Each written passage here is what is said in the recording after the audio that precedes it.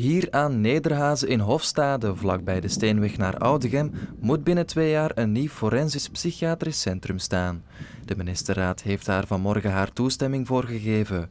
Hier worden 120 plaatsen voorzien voor geïnterneerden die ontoerekeningsvatbaar zijn verklaard.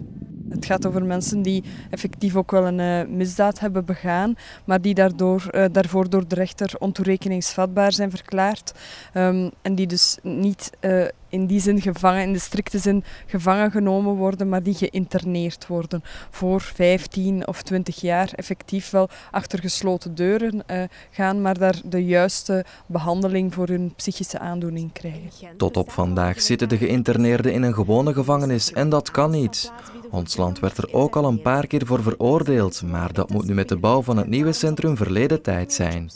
Ook in Gent is er al een dergelijk gesloten centrum. In Aals moet de bouwer van zo'n 150 jobs opleveren. Smijers verwacht niet dat het centrum voor overlast zorgt. Net zoals in Dendermonde, net zoals in Leuven staan de gevangenissen eigenlijk pal in het centrum.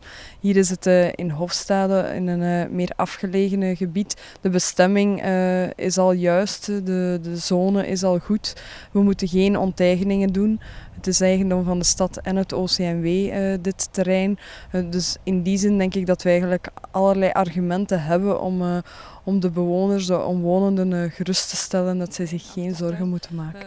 Het centrum wordt gebouwd en gefinancierd door de federale overheid. Nu is het wachten tot de gronden aan de regie der gebouwen wordt verkocht.